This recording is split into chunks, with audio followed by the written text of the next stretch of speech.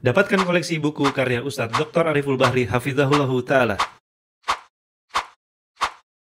Dan miliki segera buku ulama mazhab dan manhaj. Allahiladzi bina'amih tatimu salihat. Asyadu an la ilaha illallah lahu la syarika lah. Wa asyadu anna muhammadan abduhu wa rasuluhu la nabiya wa la rasulah ba'dah. Allahumma salli wa sallim wa barik ala muhammadin wa ala alihi wa sahbihi ajma'in amma ba'd. Alhamdulillah, senantiasa kita mengucap syukur atas nikmat yang telah Allah berikan sehingga pada sore hari ini kita masih bisa bermuajah menjalin ukhuwah dalam upaya kita mendekatkan diri kepada Allah dengan kita belajar ilmu-ilmu syar'i dan semoga Allah berikan kita keistiqomahan di dalam jalan menuntut ilmu dan tak lupa salat dan salam senantiasa tercurah kepada uswah hasanah kita Rasulullah Muhammad sallallahu alaihi wasallam kepada keluarga, sahabat dan seluruh umat yang senantiasa istiqomah berada di atas sunnah-sunnahnya. Baik, eh, yang kami hormati pada guru kita Ustadz Dr. Abu Bahri MA Hafidullah Ta'ala yang semoga Allah rahmati dan juga kepada Ketua Yayasan Bapak Fabian dan seluruh tim yang telah mempersiapkan kegiatan pada sore hari dan serta dan semoga Allah rahmati. Alhamdulillah Ustadz ber, sudah berada di tengah-tengah kita untuk mempersingkat waktu langsung saja insya Allah kita mulai kajian kita pada sore hari ini terkait dengan perjalanan dakwah Nabi kita tercinta Rasulullah Muhammad Sallallahu Alaihi Wasallam kepada Ustadz Dr. Ariful Bahri waktu dan tempat tafadhol maskuro. Bismillahirrahmanirrahim. Assalamualaikum warahmatullahi wabarakatuh. Alhamdulillahirabbil alamin wassalatu wassalamu ala asyrafil anbiya'i wal mursalin wa ala alihi wa ashabihi wa man tabi'ahum bi ihsanin ila yaumiddin amma ba'du.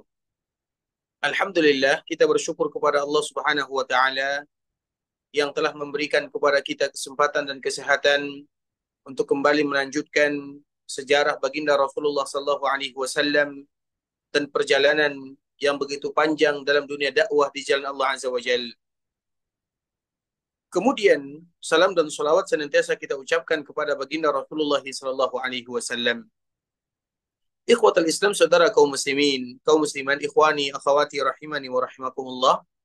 Sebelumnya kita telah menjelaskan yaitu bagaimana pembangunan Ka'bah, renovasi yang terjadi di zaman Rasulullah sallallahu alaihi wasallam dan kita mengetahui renovasi Ka'bah tersebut bukan Nabi sallallahu alaihi wasallam yang pertama melakukannya dan itu sudah kesekian kalinya dilakukan renovasi terhadap Ka'bah al-Musharrafah. Dan yang pertama kali melakukan renovasi terhadap Ka'bah dan rumah Allah yang mulia ini setelah dibangun disebut atau dinamakan dengan Nabi Syith, seorang nabi yang datang setelah Nabi Adam alaihissalam. Hanya saja pembangunan Ka'bah yang masyhur itu terjadi di zaman Nabi Ibrahim alaihissalam dan juga di zaman Rasulullah sallallahu alaihi wasallam. Kemudian kita telah menceritakan bagaimana sejarah pembangunan atau bagaimana sejarah Ka'bah, bagaimana Ka'bah itu sendiri dan apa makna daripada kalimat Ka'bah.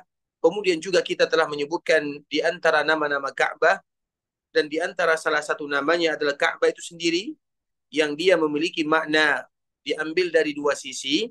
Yang pertama dari segi bentuknya, yaitu persegi panjang karena Ka'bah itu persegi panjang artinya.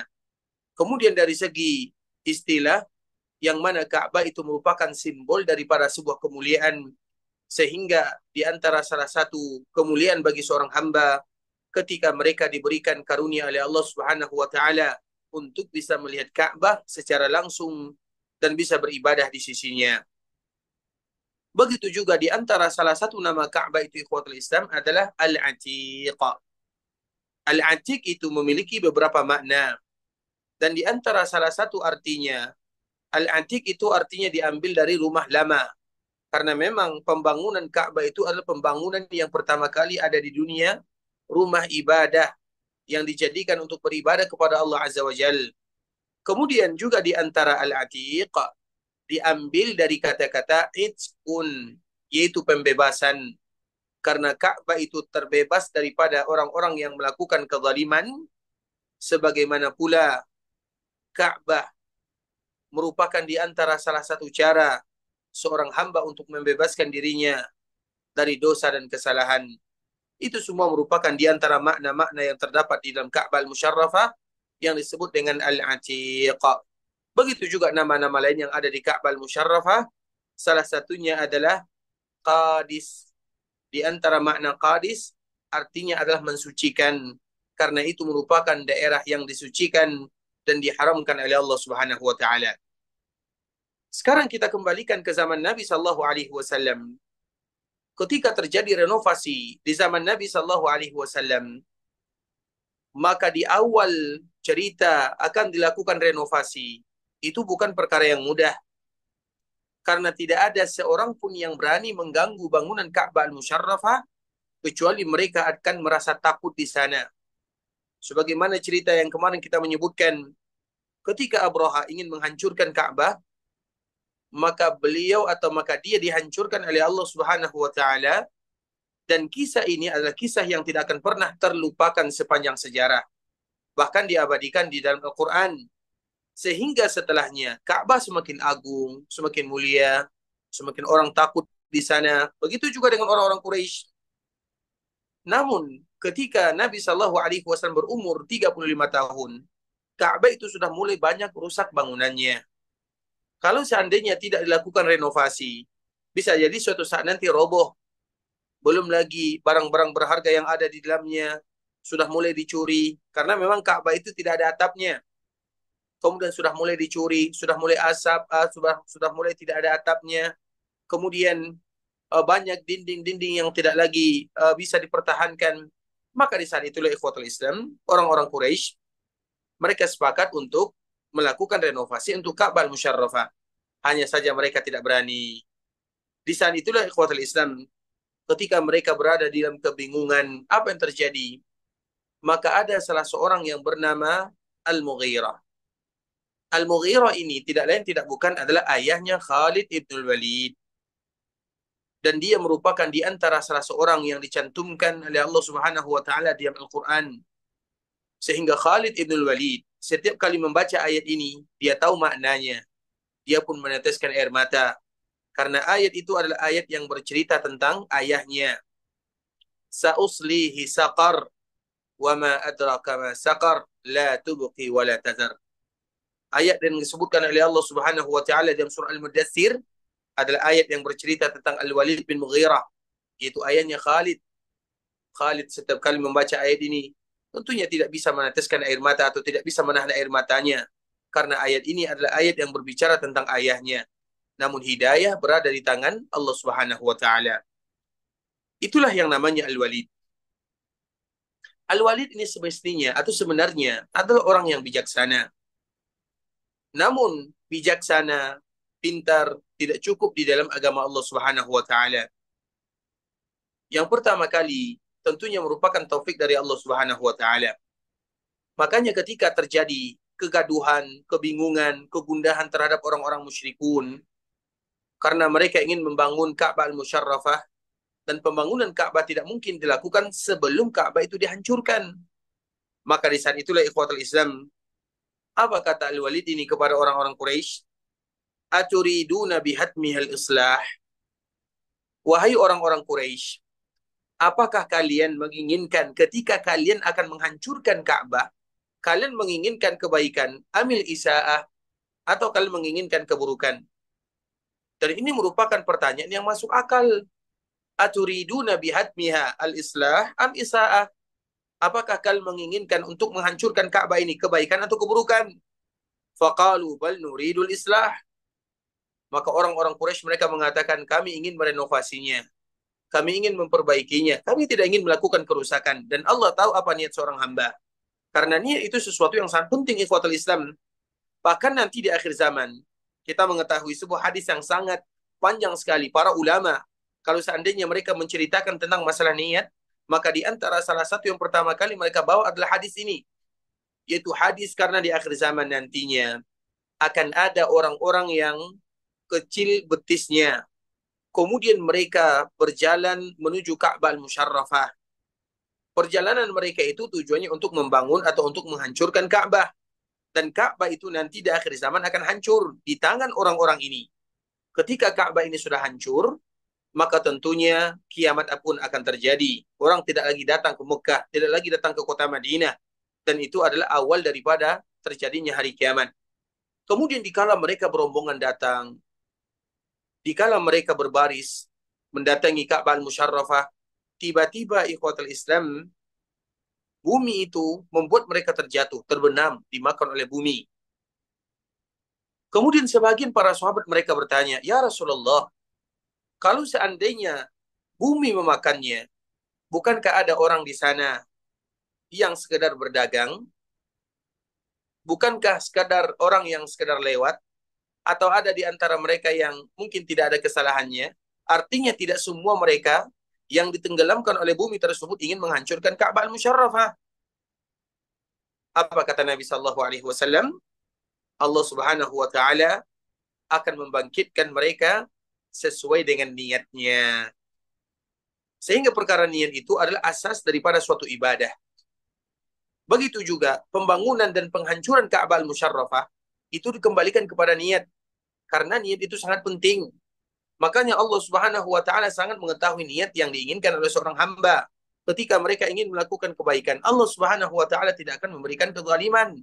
Ketika mereka melakukan kezaliman, maka di saat itulah Allah Subhanahu wa taala akan menghalanginya. Nah begitulah Al-Mughirah bertanya kepada orang-orang Quraisy, "Aturiduna bihadmihal islah amil isaah?" Kalian menghancurkan Ka'bah ini untuk keburukan atau untuk kebaikan? Maka di saat itulah jawaban semua orang-orang Quraisy, kami tidak menghancurkannya kecuali untuk kebaikan. Artinya karena tidak mungkin dilakukan renovasi untuk Ka'bah Al-Musyarrafah kecuali dihancurkan bangunannya, diganti dengan bangunan yang baru. Sehingga dengan itulah ikhwatul Islam, pertanyaan ini muncul, kemudian mereka pun menjawab bahwa kami ingin melakukan kebaikan. Kemudian setelahnya apa yang terjadi? Fa innallaha la yuhlikul muslihin. Ketahuilah wahai orang-orang Quraisy, sesungguhnya Allah tidak akan pernah membinasakan orang-orang yang berbuat baik. Coba kita perhatikan bagaimana kalimat yang keluar dari Al-Mughirah.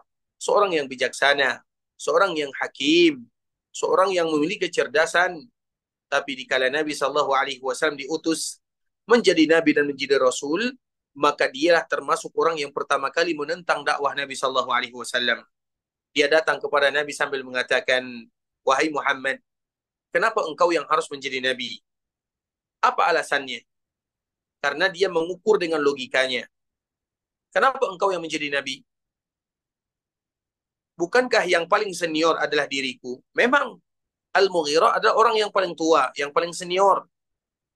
Bukankah yang paling kaya adalah diriku? Iya, Al-Mughirah orang yang diberikan harta oleh Allah Azza wa Jal. Bukankah aku yang banyak bukankah aku yang banyak memiliki keturunan? Betul. Al-Mughirah juga memiliki keturunan yang banyak. Tapi ketahuilah, masalah risalah dan masalah nubuah itu merupakan pilihan dari Allah Subhanahu wa taala. Sehingga dengannya Al-Mughirah termasuk orang yang tidak beriman kepada Nabi sallallahu alaihi wasallam, bahkan dia diberikan ancaman sauslihi saqar. Wa ma adraka ma saqar? La tubqi alai la tubqi wa la tazar 'alaiha tis 'alaiha 'alaiha tis'ata. Yaitu kami akan ancam mereka dengan neraka sakar, yaitu neraka yang betul-betul akan membinasakan mereka yang masuk ke dalamnya. Itulah Al-Mughirah karena dikala Nabi Shallallahu Alaihi Wasallam berdakwah, dia mengukur dakwah Nabi Shallallahu Alaihi Wasallam dengan logikanya. Dan tentunya banyak pelajaran yang bisa kita ambil ikhwatul Islam. Bahwa di dalam agama, tidak satu pun yang bertentangan dengan akal dan logika. Tapi tidak semuanya bisa dipaksakan dengan logika. Itu saja perbezaannya. Maka dengan itulah kaum muslimin, mereka selalu menyerahkan logikanya, akalnya kepada Allah Subhanahu wa taala karena jasad kita ini, baik yang di dalam ataupun yang di luar, itu memiliki keterbatasan. Jasad kita ini memiliki keterbatasan. Pendengaran kita ada batasnya. Penglihatan kita ada batasnya. Lisan kita ada batasnya. Penciuman kita ada batasnya. Tangan kita ada batasnya. Kaki kita ada batasnya. Akal kita ada batasnya. Semuanya ada batasnya. Dan salah satunya adalah akal. Makanya akal dan logika tidak pernah bertentangan dengan agama Allah Azza wa Jalla. Tentunya akal yang sehat. Tapi tidak semua agama bisa dimasukkan dalam akal dan logika. Karena nanti kalau seandainya kita masukkan, maka ingat apa yang disebutkan oleh Al-Mughirah kepada baginda Rasulullah sallallahu alaihi wasallam, aku yang paling senior, semestinya aku yang jadi nabi. Aku yang paling kaya, semestinya aku yang jadi nabi. Aku yang paling banyak keturunan, semestinya aku yang yang menjadi nabi. Itu adalah akal dan logikanya karena dia mengukur segala sesuatu dengan logikanya. Namun ini merupakan agama yang harus senantiasa kita bersandar kepada Allah Subhanahu wa taala dan itulah seorang muslim. Maka muslim dinamakan dengan muslim yaitu mereka yang selalu menyerahkan diri kepada Allah Subhanahu wa taala dan mereka hanya tunduk dan patuh kepada Allah sehingga mereka dinamakan dengan Abdullah yaitu hamba milik Allah Subhanahu wa taala yang tidak ada tugas mereka kecuali mendengarkan apa yang Allah perintahkan kemudian mereka melakukannya mendengarkan apa yang Allah larang kemudian mereka meninggalkannya itulah hamba Allah Subhanahu wa taala. Ikhwatul Islam saudara kaum muslimin, kaum musliman, ikhwani akhwati rahimani wa rahimakumullah. Mungkin kita jeda sebentar uh, untuk membuka sesi tanya jawab. Kalau seandainya ada di antara kaum muslimin yang ingin bertanya atau kami yang bertanya, maka juga tidak menjadi masalah. Kami persilahkan jazakumullahu khairan. Baik, eh, Barangkali dari para jamaah ada yang ingin bertanya kepada Ustadz. Silahkan Resen. Ibu Putri, silahkan. Assalamualaikum warahmatullahi wabarakatuh, Ustadz. Assalamualaikum warahmatullahi wabarakatuh. Assalamualaikum ilaikum Ustadz. Semoga Allah selalu merahmati Ustadz dan keluarga dan para guru-guru kita dan seluruh jamaah yang mengisi kaji yang mengikuti kajian ini. Afwan Ustadz tadi Ustadz sempat menjelaskan soal surat Al-Mudassir yang membuat Khalid bin Walid itu menangis membacanya itu di ayat yang mana persisnya Ustadz? Karena ini Ana lagi buka di mushaf uh, di ini Ana surat Al-Mudassir itu Ustadz. Uh, jadi uh, apa sebenarnya yang membuat Khalid bin Walid begitu bersedih gitu Ustadz? Mohon penjelasannya itu dulu Ustadz. Kalau khair Ustadz. Barakallahu fiikum wa jazakumullahu khaira. Mungkin nanti bagi kita yang uh, membuka surat Al-Mudassir. Surat Al-Mudassir ini ini merupakan di antara salah satu penghinaan yang dilakukan oleh Al-Mughirah kepada Rasulullah sallallahu alaihi wasallam. Karena kita tahu, ini merupakan keadaan umum ya, yang harus kita ketahui. Kalau seandainya kita bayangkan, ketika Nabi sallallahu alaihi wasallam diutus menjadi nabi dan menjadi rasul, Nabi diutus kepada kaum yang ahli bahasa, ahli sastra. Mereka adalah induknya orang-orang yang pandai berbahasa Arab. Kemudian tiba-tiba datang Nabi Shallallahu Alaihi Wasallam membawa Al-Quran yang mengalahkan semua yang ada pada orang Arab. Hanya saja Nabi tidak pandai baca dan tulis. Kita ulang lagi ikhwatul Islam. Nabi Wasallam diutus di kalangan yang pandai bahasa ahli sastra. Mereka memiliki puncak tertinggi dalam bahasa Arab. Tiba-tiba datang Nabi Wasallam membawa Al-Quran yang begitu indah, yang membuat mereka terpukau dengan kosakatanya, dengan bahasanya. Mereka berani bergadang untuk mendengarkan ayat-ayatnya. Tapi masalahnya, Nabi Shallallahu Alaihi Wasallam tidak pandai baca tulis. Seolah-olah dikala Nabi Shallallahu Alaihi Wasallam membawa Al-Quran ini, padahal Nabi tidak pandai baca tulis. Maka di saat itulah mereka menghina. Karena mereka tidak tahu agama itu adalah wahyu dari Allah Subhanahu wa taala. Maka dari sini kita harus hati-hati ikhwatul Islam. Ketika ada yang menyampaikan kebenaran, jangan pernah disebutkan, kamu ini kan seperti ini, kamu tidak pandai ini, kamu hanya sekedar insinyur misalnya. Misalnya kalau ada yang menyebutkan kebenaran, dia kan seorang arsitek. Kenapa harus menyebutkan seperti ini? Jangan. Karena ilmu itu adalah cahaya. Dan cahaya Allah itu diberikan kepada siapa saja yang dikehendaki. Artinya sesuai dengan bagaimana dia belajar. Karena bisa jadi agama ini ikhwatul Islam artinya agama ini diberikan oleh Allah Subhanahu wa taala untuk saling memberikan nasihat satu dengan yang lainnya. Sehingga dikala ada yang menyebutkan kebenaran jangan pernah dilihat latar ke belakangnya. Jangan dilihat pekerjaannya, tapi dilihat apa yang mereka sampaikan. Karena Nabi Shallallahu alaihi wasallam menyampaikan agama kepada orang yang ahli bahasa dan yang dibawa oleh Nabi adalah Al-Qur'an yang mengalahkan semuanya padahal Nabi tidak pandai baca dan tulis. Kemudian apa kata Al-Mughirah? in hadha illa qaulul bashar. Yang dibawa oleh Muhammad itu bukan firman Allah Azza wa Jal. Itu hanya sekedar perkataan manusia. Itu adalah kesombongannya. In hadza illa qaulul bashar. Artinya dia tidak menerima wahyu dari Allah Subhanahu wa taala. Dia tidak pernah menyandarkan kepada Allah. Dia selalu menghina Nabi untuk melecehkan Nabi. Dan salah satunya itu hanya sekedar ucapan Nabi Wasallam. Itu hanya berasal dari makhluk. Artinya itu firman dari atau itu bukan firman Allah Subhanahu Wa Taala. Sehingga dari sini para ulama menjelaskan ikhwatul Islam, siapa pun yang mengatakan Al-Quran bukan firman Allah, maka nanti itu merupakan di antara perkataan yang sama dengan yang diucapkan oleh Al-Walid bin Mughirah. Karena dia mengatakan in hadha illa qaulul bashar. Itu hanya sekedar perkataan manusia. Al-Quran itu kalau manusia berarti manusia makhluk. Berarti yang keluar dari lisan Nabi itu adalah makhluk. Berarti mereka yang mengatakan Al-Quran itu makhluk itu adalah asal muasalnya perkataan daripada Al-Mughirah. Kalau seandainya dikatakan Al-Quran makhluk, kenapa ada yang mengatakan Al-Quran makhluk? Karena makhluk itu adalah sesuatu yang tidak sempurna.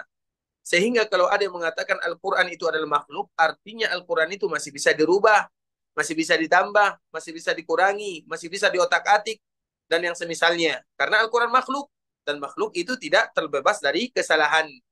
Makanya Allah Subhanahu wa taala menyebutkan in hadza illa qaulul bashar sauslihi saqar. Aku akan ancam dia dengan neraka saqar. Itulah yang terjadi kepada Al-Walid bin Mughirah ketika dia tidak mau menerima wahyu dari Allah Subhanahu wa taala, dia enggan menerima mendengarkan ayat-ayat Al-Qur'an yang dibawakan oleh Rasulullah sallallahu alaihi wasallam, maka di saat itulah dia diancam oleh Allah Subhanahu wa taala dengan sakar. Barakallahu fiikum wa jazakumullahu khairan. Afwan Ustadz, boleh satu pertanyaan lagi Ustadz? Silakan. Masih menyambung dengan keterangan Ustadz tadi bahwa kita sebenarnya kalau ada yang menunjukkan kebenaran sebaiknya tidak usah dilihat latar belakang uh, yang menyampaikan tersebut mau itu teknik ataupun apa Ustadz. Ini sebenarnya Anas sudah pernah sempat uh, menyampaikan pertanyaan melalui panitia, melalui WA Ustadz. Mungkin kalau Darullah Ustadz masih sangat sibuk, mungkin belum terjawab Ustadz. Uh, kami di grup itu kadang ada salah Ustaz. Kemudian bukan ahli tafsir tapi mampu menafsirkan Al-Quran. Apakah kami boleh mengambil ilmu dari asatid yang seperti ini, Ustadz? Dan juga kami awalnya meragukan bahwa beliau ini sunnah apa enggak ya tapi setelah Ana mendengar kajian beliau jadi tidak jauh sih sebenarnya Ustadz selalu kalau Allah kalau Rasulullah gitu Ustadz dan terus Ustadz ada juga salah satu asatid yang mungkin uh, style penyampaiannya uh, apa memberikan kajiannya mungkin dengan istilah-istilahnya leneh gitu Ustadz. Kemudian ada singkatan-singkatan gitu Ustadz. Ana pernah WA kan itu mungkin Ustadz sudah baca rasanya kurang pantas anak kalau menyebutkan nama ya Ustadz ya. Mohon penjelasannya Ustadz. Mana cara kami sebagai pelabur Barakallahu fikum. Uh, wa jazakumullahu khairan. Kita harus membezakan antara menyampaikan agama dengan menyampaikan kebenaran. Itu dua hal yang yang tidak sama. Menyampaikan kebenaran itu ikhwatul Islam. Menyampaikan kebenaran itu adalah kalimat-kalimat yang muncul dari seorang hamba seperti misalnya dulu di zaman Imam Ahmad rahimahullahu taala. Ketika Imam Ahmad ini ikhwatul Islam, Imam Ahmad ini waktu itu di penjara, dihukum. Kemudian dia di penjara. Dikala dia masuk penjara, kebetulan di dalam penjara itu ada salah seorang pencuri. Kemudian apa kata orang ini? Asbiru wa ana fi sabili syaitan wa la tasbiru wa anta fi sabilir rahman Aku sabar, sedangkan yang aku kerjakan adalah jalan-jalan syaitan karena dia mencuri. Dan tidakkah kamu sabar dan kamu berada di jalan Ar-Rahman? Ini merupakan kalimat kebenaran ikhwatul Islam, kalimat yang benar. Sehingga Imam Ahmad pada itu adalah seorang pencuri. Imam Ahmad mengatakan semenjak kalimat ini masuk ke telingaku, di saat itu aku sabar menerima ketentuan dan juga menerima apa yang disebutkan. Makanya menerima itu berbeza dengan menyampaikan agama. Kalau menyampaikan agama ikhwatul Islam lain ceritanya. Agama harus diambil dari mereka-mereka yang siqah. Makanya harus kita bezakan antara dua kalimat ini. Kalau agama, kalau belajar agama itu lain cerita, tapi menerima kebenaran itu lain ceritanya. Karena kebenaran itu ikhwatul Islam, bukankah iblis, syaitan, pernah mendatangi Abu Hurairah. Kemudian memberikan nasihat kepada Abu Hurairah. hendaklah kamu membaca ayat kursi. Abu Hurairah bercerita kepada Nabi Shallallahu Alaihi Wasallam. Apa kata Nabi Shallallahu Alaihi Wasallam? Sadaqaka wa huwa kadzub. Dia itu telah jujur kepadamu padahal dia adalah induknya tukang bohong. Dia jujur kepadamu padahal dia adalah induknya tukang bohong. Dan itu merupakan di antara salah satu yang harus kita ketahui. Tapi ingat, kalau belajar agama itu lain cerita. Belajar agama, ambil agama dari mereka yang ahli di bidangnya. Misalnya ahli agama, misalnya ahli ini, ahli di bidang ini. Karena setiap para ulama mereka ada ahli di bidangnya. Terutama mereka yang tidak keluar dari ahlu sunnah wal jamaah. Kita harus belajar atau uh, mengetahui dari mana kita mengambil agama tersebut. Fangduru amman ta'khuduna dinakum. Sebagaimana disebutkan oleh para ulama, hendaklah kalian melihat dari mana kalian mengambil agama kalian. Makanya kalimat ini harus kita bezakan. Mengambil agama, bagaimana menerima kebenaran, bagaimana barakallahu fikum wa jazakumullahu khairan. Jazakallahu khair Ustaz. Alhamdulillah sangat sangat jelas Ustaz. Barakallahu fikum Ustaz. Baik. Eh, uh, masih ada lagi Ustaz yang ingin bertanya? Baik, kita lanjutkan dulu sebelum Ibu- kita buka sesi tanya jawab. Masih ada pertanyaan? Silakan, persilakan. Mas- masih satu lagi Ustaz. Boleh, silakan. Ibu Ida Rasyad. Eh, silakan Ibu Ida. Ibu Ida, silakan. Iya, jazakallah khairan host atas kesempatan waktunya. Assalamualaikum warahmatullahi wabarakatuh Ustadz. Assalamualaikum. Semoga Allah selalu merahmati Ustadz, melindungi Ustadz, dan memudahkan dakwah Ustadz di mana pun berada. Dan semua ilmu-ilmu yang Ustadz sampaikan kepada kami dapat kami amalkan insya Allah dan menjadi pahala jariah buat Ustadz. Amin ya Rabbal Alamin. Uh, Ustadz, Afwan ini mungkin sedikit urgensi, tapi di luar tema. Dan kebetulan ini pertanyaan mewakili daripada jemaah kajian yang sudah belajar sunnah di Swedia. Pertanyaannya seperti ini Ustadz. Uh, di Swedia ini ketika mayat, ketika ada yang meninggal, mayat akan dikebumikan dalam beberapa hari, tidak langsung, dan bisa makan waktu 3 sampai seminggu, tiga hari sampai seminggu. Dan kodarullah kerabat kami baru berpulang, Ustadz, ke rahmatullah. Dan pertanyaannya, uh, di sini mayat tidak disemayamkan di rumah duka, tetapi begitu meninggal dibawa ke rumah mayat di peti es di rumah sakit. Dan ketika akan dikebumikan dipanggil yang uh, secara agamanya hanya beberapa orang untuk memandikan dan mengafani. Dan mayat setelah itu akan dikuburkan, dibawa ke pemakaman muslim, dan di sana akan disolatkan sebelum dimasukkan ke liang lahat. Pertanyaannya adalah bagaimana dengan akhwat yang ingin menyolatkan uh, mayat dengan seperti janji Allah mengharapkan satu kirot pahala yang dijanjikan Allah Azza wa Jalla dan satu lagi fatwanya mengatakan wanita dilarang ke kuburan. Bagaimana kita menggabungkan ini agar tidak uh, hilang pahala menyolatkan atau apa yang bisa Ustaz sarankan sebaiknya kami ahwat ini apa yang kami lakukan. Jazakallah khairan Ustaz. Barakallahu fikum. Barakallahu fikum wa jazakumullahu khairah. Semoga Allah Subhanahu wa taala menjaga kita bersama yang masih hidup diberikan kesehatan dan umur panjang dalam ketaatan dan yang sudah meninggal semoga Allah Subhanahu wa taala ampunkan dosa dilapangkan perkuburannya, dijadikan perkuburannya taman di antara taman-taman surga. Tentunya yang harus kita ketahui bahwa nilai kebaikan itu banyak sekali dibuka oleh Allah Subhanahu wa taala. Dan sebagaimana tadi yang telah dijelaskan, kalau seandainya tidak ada tempat untuk disalatkan, misalnya karena sedikitnya masjid yang ada di sana, sehingga tidak ada yang mensalatkan kecuali sebahagian orang di perkuburan, dan akhwat tidak bisa mensalatkan di sana, maka itu tidak menjadi masalah maka itu tidak menjadi masalah. Kecuali kalau seandainya itu merupakan di antara karib kerabat mereka. Karena bagaimanapun, salat jenazah memiliki pahala yang luar biasa. Salat jenazah memiliki pahala yang sangat banyak sekali. Tapi bagi perempuan ikhwatal Islam, kita harus tahu perempuan itu antara satu kebaikan dengan kebaikan. Kalau seandainya mayat ini belum disalatkan, maka boleh bagi mereka mensalatkannya dengan salat gaib. Karena salat gaib itu ikhwatul Islam adalah bagi jenazah yang tidak dan belum disalatkan. Sebagaimana Nabi Shallallahu Alaihi Wasallam mensalatkan Raja Najasyi dan itu hanya satu kali dilakukan oleh Nabi Shallallahu Alaihi Wasallam. Namun kalau seandainya sudah disolatkan, maka tidak lagi disolatkan dengan secara gaib. Kemudian bagi mereka yang tidak bisa mensolatkan di masjid, maka mereka mensolatkan di perkuburan. Sebagaimana Nabi Shallallahu Alaihi Wasallam juga melakukan yang demikian terhadap salah seorang wanita yang meninggal. Kemudian para sahabat terlambat memberitahukan kepada Nabi, maka Nabi Shallallahu Alaihi Wasallam mensolatkan di sana. Nah bagi wanita yang mereka ingin mensolatkan, namun dikhawatirkan karena di perkuburan dan mereka tidak jadi mensolatkannya dan mereka mendoakannya, maka pahala sudah mereka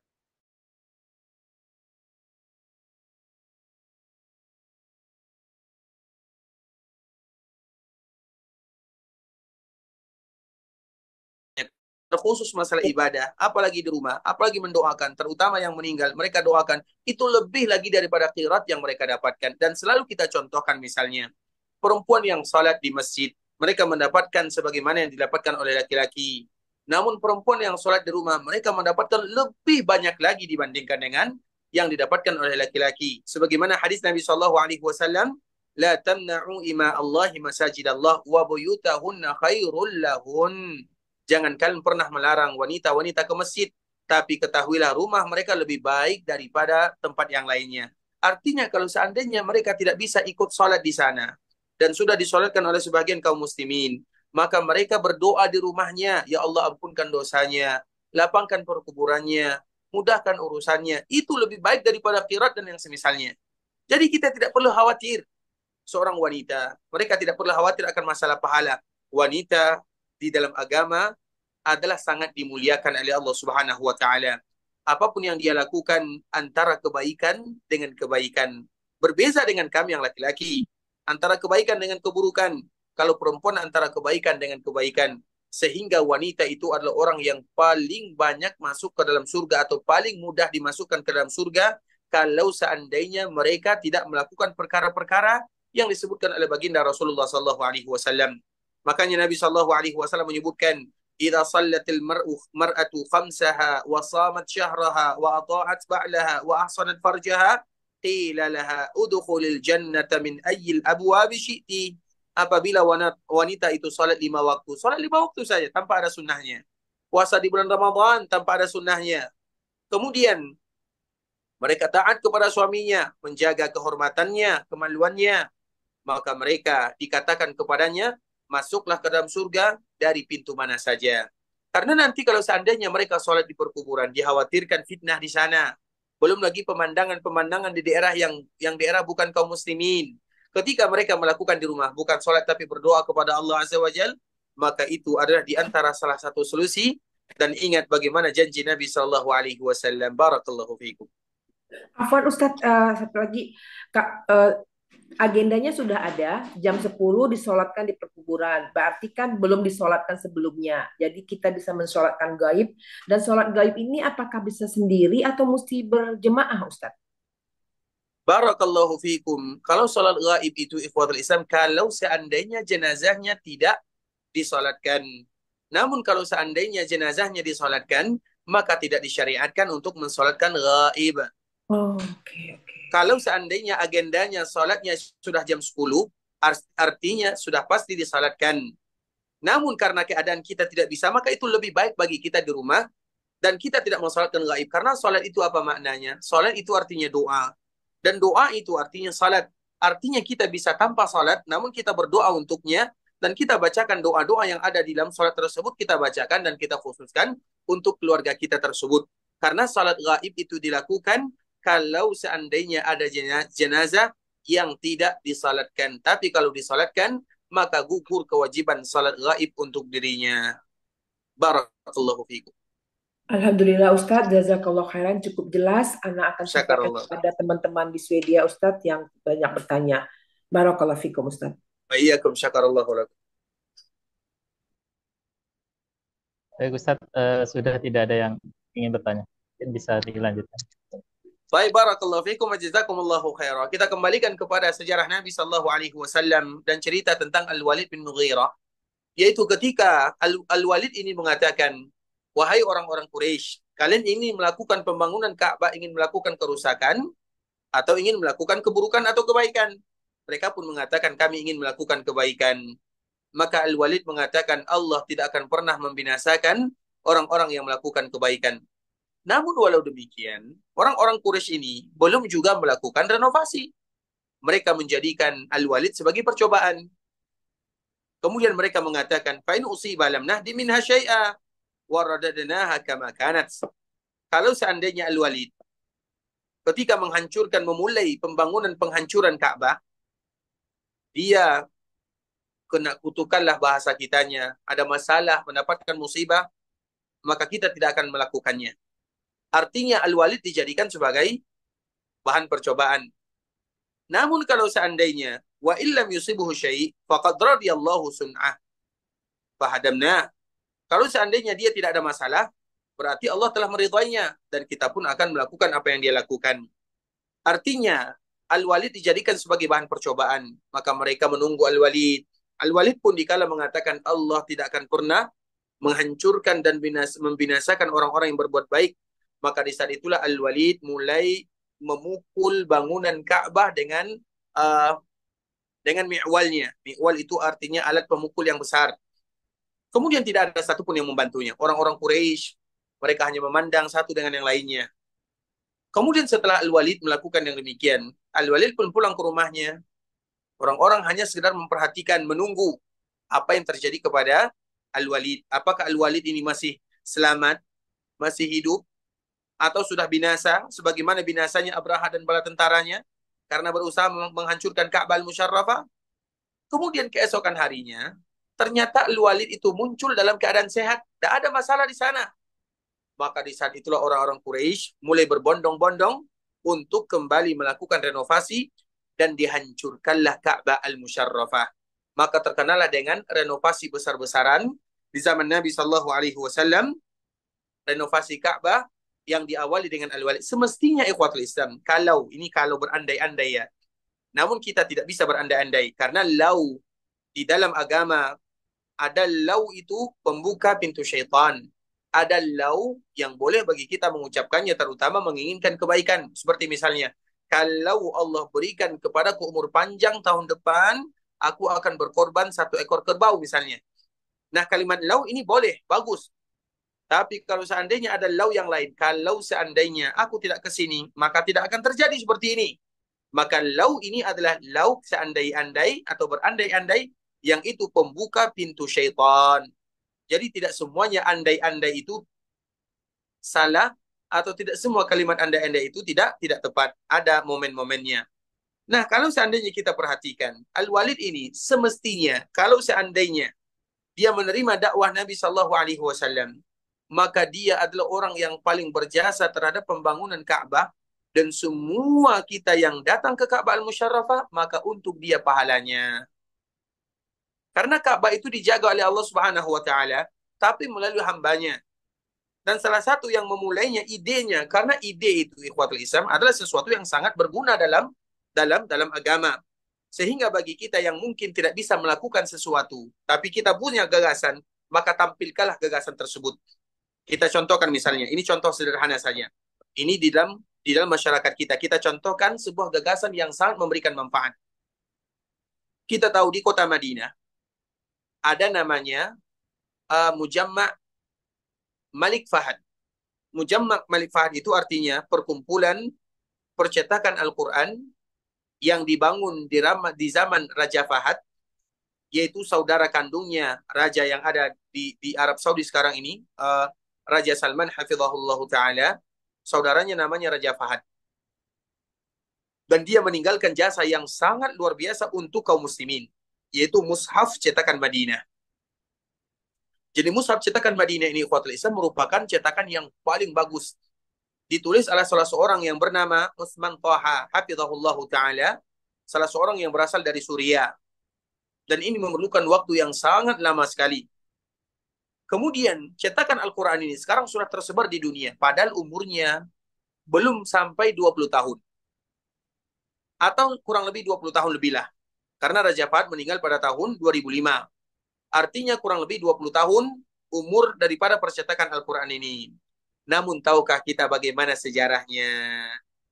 Sejarahnya ikhwatul Islam, ada salah seorang orang tua tiba-tiba dia bertemu dengan Raja Fahad. Dia orang biasa. Dia tidak punya uang, tapi dia punya gagasan, punya ide cemerlang. Dia datang kepada Raja Fahad sambil mengatakan, "Wahai baginda raja, mengapa kita tidak membangun percetakan terbesar di dunia? Kemudian kita lokasikan di tempat Al-Quran itu diturunkan, yaitu di kota Madinah. Karena kota Madinah itu disebut dengan Mamba'ul Wahyi, Darul Iman. Wahyu diturunkan oleh Allah Azza wa Jal, iman terpancarkan. Masuk. Ide ini merupakan ide yang bagus. Raja Fahad langsung langsung memerintahkan bangun percetakan terbesar yang paling bagus, letakkan di kota Madinah sehingga semua mereka yang mengambil manfaat dari Al-Quran dan kita tahu seluruh kaum muslimin setiap hari itu dibagikan Al-Quran itu lebih daripada bisa jadi 5 ribu atau sampai 10 ribu dan semua pahala sampai kepada Malik Fahad yang mencetak yang membangunnya dan semua pahala sampai kepada orang yang tadi memberikan gagasan jadi artinya ikhwatul Islam ternyata agama adalah sesuatu yang diberikan kemudahan oleh Allah Subhanahu wa taala maka dari situlah ad-dallu ala khairi kafa'ilihi. Orang yang menunjukkan kebaikan kepada orang lain sama dengan orang yang melakukannya. Iya, kita tidak bisa beramal, tapi kalau kita mencontohkan kepada orang lain amalan tersebut kemudian mereka lakukan, maka untuk kita pahalanya. Iya, kita tidak punya uang, tapi kita berikan gagasan, kemudian orang melakukannya, sama pahalanya. Apalagi yang kurang dalam agama. Tinggal bagaimana kita berniat berlomba-lomba untuk meniatkan sesuatu yang baik memikirkan kebaikan-kebaikan dalam agama Allah Subhanahu wa taala. Sehingga kaum muslimin, mereka harus ada andil dalam agama Allah Azza wa Jal. Baik itu dengan pikirannya, dengan tenaganya, dengan akalnya, dengan hatinya, dengan hartanya, dengan tulisannya, dengan semua yang mereka miliki. Maka manfaatkanlah apa yang mereka miliki untuk berjuang di jalan Allah Subhanahu wa taala. Tapi ingat syaratnya adalah iman kepada Allah dan cinta kepada Rasulullah sallallahu alaihi wasallam yaitu dengan selalu mengucapkan la ilaha illallah Muhammadur Rasulullah. Artinya apa ikhwatul Islam? Karena ibadah, pemikiran, akal, kekuatan, tenaga, harta tidak akan bermanfaat tanpa kita selalu mengucapkan dua kalimat yang mulia ini yaitu kalimat la ilaha illallah Muhammadun Rasulullah sallallahu alaihi wasallam. Karena kebaikan yang paling baik adalah iman dan keburukan yang paling zalim adalah kesyirikan. Artinya iman adalah kebaikan yang paling baik dan itu adalah pembuka daripada kebaikan yang lainnya. Barakallahu fikum ikhwatal Islam. Mungkin sampai di sini pembahasan yang bisa kami jelaskan yang benar dari Allah Subhanahu wa taala, yang salah dari diri kami pribadi karena kurangnya ilmu kami, karena kebodohan kami, karena kejahilan kami. Kami mohon dimaafkan kalau ada kata-kata yang salah, kalimat-kalimat yang kurang tepat. Sekarang kita buka sesi tanya jawab, baik kami yang bertanya atau uh, kaum muslimin yang bertanya, maka kami persilakan. Jazakumullahu khairan. Sudah ada yang ingin bertanya, Ustaz? Silakan, uh, silakan. Silakan Ummu Rahmat. Ummu Rahmat. Assalamualaikum warahmatullahi wabarakatuh, Ustaz. Waalaikumsalam warahmatullahi wabarakatuh.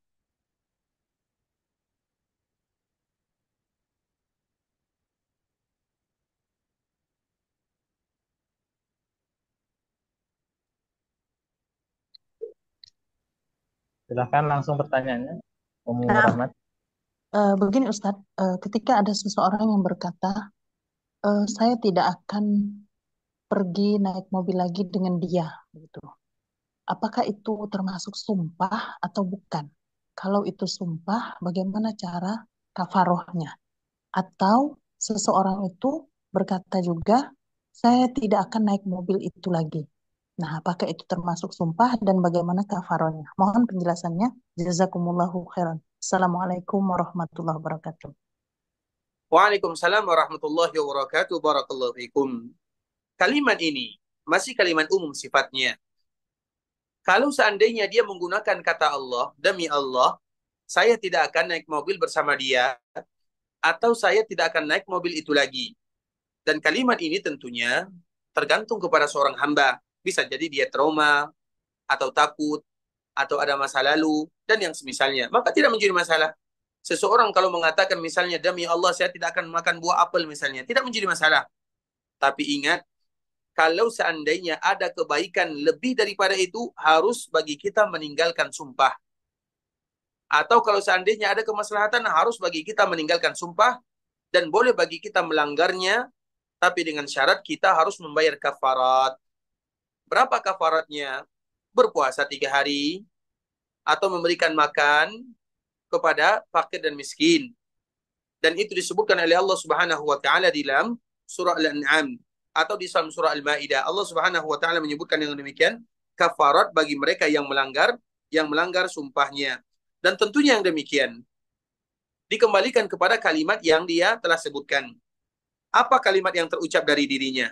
Apakah dia mengatakan kalimat demi Allah atau hanya sekadar dia mengatakan kalimat saya tidak akan lagi menaiki mobil tersebut atau bersama orang tersebut. Kalau seandainya dia hanya sekadar mengatakan tanpa mengatakan kalimat Allah, maka tidak menjadi masalah. Tapi kalau dia mengatakan kalimat tersebut dengan kalimat Allah, maka kalau seandainya itu sumpah, maka silakan dia berpegang kepada sumpahnya, tidak menjadi masalah. Tapi kalau seandainya dia melanggarnya karena suatu kebaikan, juga tidak menjadi masalah. Tapi dengan syarat memberikan makan 10 orang miskin, atau memberikan pakaian kepada seorang 10 orang miskin, atau memerdekakan seorang hamba sahaya. Itu merupakan kafarat yang disebutkan oleh Allah Subhanahu wa taala. Kita ulang lagi. Kalau seandainya dia mengatakan kalimat Allah, mengucapkan kalimat Allah demi Allah ataupun yang semisalnya, kemudian dia melihat ternyata itu tidak bermanfaat baginya atau dia harus melanggarnya karena suatu kemaslahatan, maka dia harus membayar denda. Apa dendanya? Memberikan makan 10 orang miskin atau memberikan pakaian kepada 10 orang miskin atau memerdekakan seorang hamba sahaya. Dan mungkin yang ketiga ini sulit, tapi yang pertama atau yang kedua harus mereka lakukan sebagaimana yang disebutkan oleh Allah Subhanahu wa taala dalam surah Al-Maidah. Allah menyebutkan, "La yu'akhidukumullahu billaghwi fi aymanikum, walakin yu'akhidukum bima aqadtumul aiman." Allah itu tidak akan pernah mengambil sumpah atau tidak akan pernah membebani seseorang yang mengucapkan kalimat Allah kalau itu adalah laga. Maka disebut dengan sumpah laga seperti kalimat orang-orang Arab. Orang Arab itu terbiasa mengucapkan wallah, la wallah. Misalnya kamu pergi ke sana, la wallah.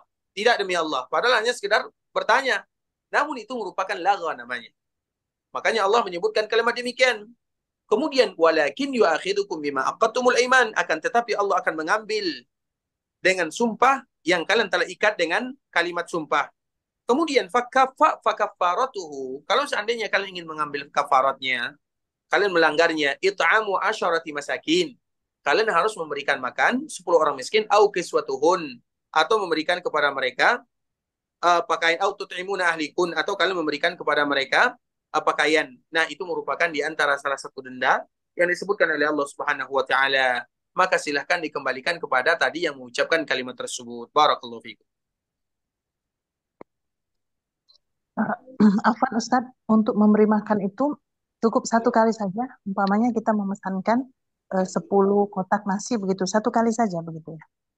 Boleh tidak menjadi masalah. Tapi minimal untuk satu orang kalau seandainya kita kiaskan dengan beras, itu kurang lebih 1,5 kilo beras. Kalau seandainya kita memberikan makan secara sempurna, misalnya kita ingin memberikan makan atau makanan pokok misalnya, untuk satu orang diberikan 1,5 kilo. Karena kafarat itu biasanya setengah mud, setengah sa' dan satu, ini satu mud namanya. Genggaman tangan ini disebut dengan satu mud. Empat genggaman tangan ini disebut dengan satu sa'. Karena biasanya kalau kita bayar zakat, zakat fitri, zakat fitrah, itu biasanya satu sok. Dan satu sok itu empat mud. Dan ukurannya kurang lebih, kalau satu sok itu kurang lebih tiga kilo. Separuhnya adalah satu kilo setengah. Makanya kalau seandainya kita ingin memberikan makanan, maka berikan untuk satu orang 1,5 kilo makanan pokok. Barakallahu fiqh. Nah, Ustaz, jazakumullah. Assalamualaikum warahmatullahi wabarakatuh. Selanjutnya masih ada pertanyaan Ustaz melalui uh, eh, WA. Silakan. Assalamualaikum ya Ustadz. Uh, izin bertanya, mohon ceritakan tentang kisah Sulaiman Ar-Rajhi. Sulaiman Ar-Rajhi. Barakallahu fiikum ikhwatal Islam. Sulaiman Ar-Rajhi merupakan salah seorang yang kaya raya yang sekarang dia memiliki bank terbesar di negara Arab ini. Allahu Akbar. Bahkan masjid yang paling besar setelah Masjid Haram Mekah dan Madinah namanya adalah Masjid Ar-Rajhi. Masjid yang paling besar setelah Mekah dan Madinah. Kita tahu Mekah, kita tahu Madinah, dan masjid yang terbesar setelahnya adalah Masjid Ar-Rajhi. Saking kayanya beliau. Tapi tahukah kita, dulu untuk mencari sesuap nasi saja, itu sulit sekali bagi dirinya. Namun itulah harta diberikan oleh Allah Subhanahu wa taala. Ketika Allah bukakan rezeki dunia untuk dirinya, maka dia semakin tunduk, semakin banyak sedekahnya, semakin penampilannya semakin sederhana. Makanya kita akan menemukan uh, beberapa orang, banyak orang ya, bukan satu orang, itu salah satu contohnya. Dia penampilannya sangat sederhana. Bahkan dia sudah melepaskan semua yang dia punya. Saya ingin fokus beribadah kepada Allah. Coba bayangkan. Karena memang ada dua hal atau dua orang yang tidak akan pernah puas. Yang pertama, yang tidak pernah puas ada dua. Yang pertama, pencari dunia. Yang kedua, pencari harta. Yang kedua, pencari. Yang pertama, pencari dunia dan pencari harta. Yang kedua, pencari ilmu. Dua ini tidak akan pernah puas. Nah, dia dibukakan dunia oleh Allah. Kayanya Allahu Akbar. Betul-betul kaya sekali. Tapi dia tinggalkan semuanya. Dia fokus beribadah kepada Allah Subhanahu wa taala. Tinggalkan artinya bukan berarti diberikan kepada orang lain tidak. Diserahkan kepada anaknya. Dia ingin beribadah kepada Allah. Terutama di masa-masa tua saya fokus beribadah kepada Allah Azza wa Jal karena ibadah itulah yang akan kita bawa bekal untuk berjumpa dengan Allah Azza wa Jal. Tentunya banyak sekali cerita tentang Sulaiman Ar-Rajih ini ya. Tidak mungkin kita ceritakan semuanya, tapi intinya bagaimana kita selalu kembali dan kembali kepada Allah. Sebanyak apa pun harta yang kita punya, ketahuilah itu semua titipan Allah Azza wa Jal dan suatu saat nanti Allah pasti akan meminta pertanggungjawabannya. Barakallahu fiik. Barakallahu. Syukran Ustaz jazakumullah khair. Selanjutnya masih ada satu lagi Ustaz melalui Hai. chat. Ustaz, uh, saya bekerja di ruang bersalin sebuah rumah sakit. Selama ini pasien yang meninggal dan terpasang spiral ataupun susuk KB, keluarganya meminta untuk dibuka. Bagaimana itu Ustaz? Apakah boleh dibuka atau tidak menurut agama? Barakallahu fiikum wa jazakumullahu khaira. Sesuatu yang sudah ada di badan seseorang, kalau seandainya memberikan mudarat kepadanya.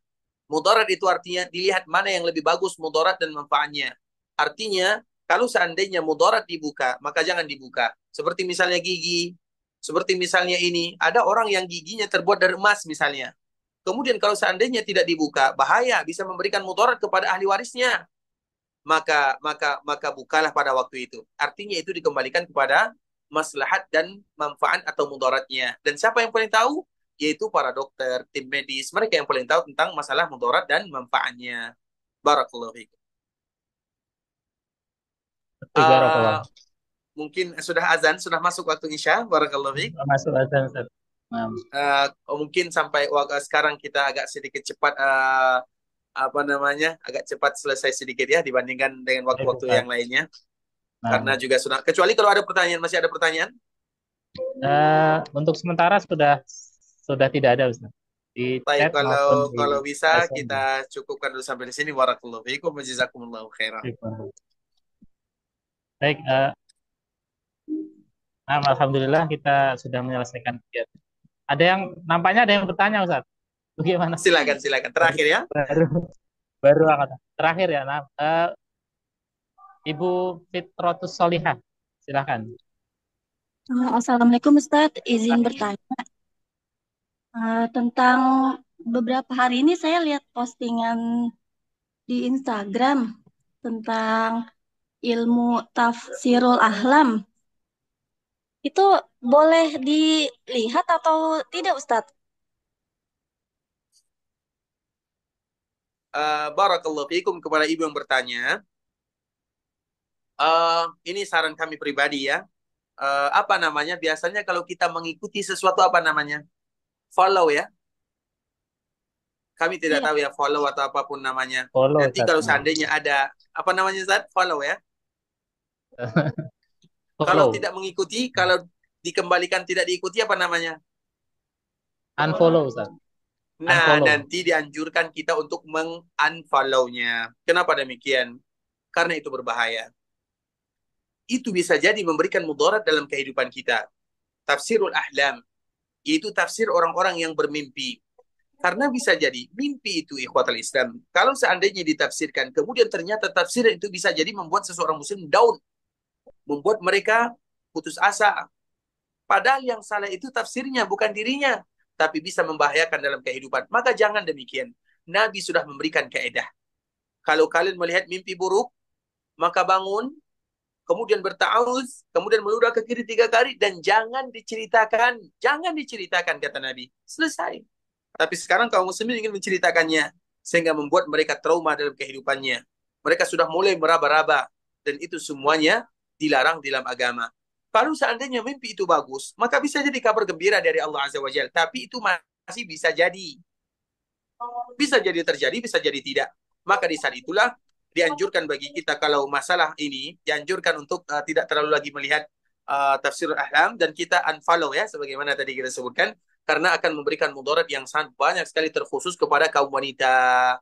Jangan diikuti yang seperti itu, ikhwatul Islam.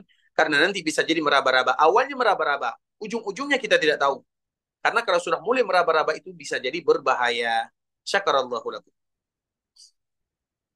Uh, kita cukupkan untuk kegiatan kajian pada sore hari ini, pada malam hari ini. Alhamdulillah, uh, jasa kumullah khair kepada Ustadz Dr. Ali Barbari.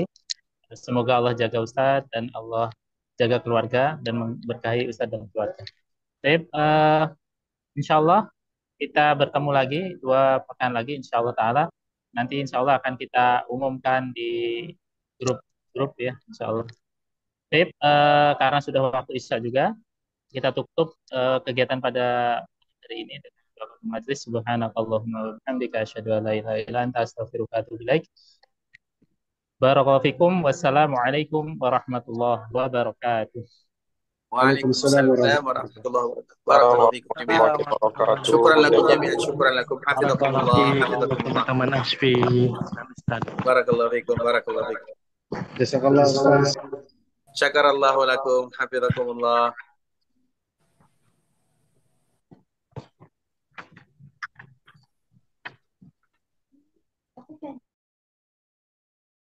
يا عبادي الذين أسرفوا على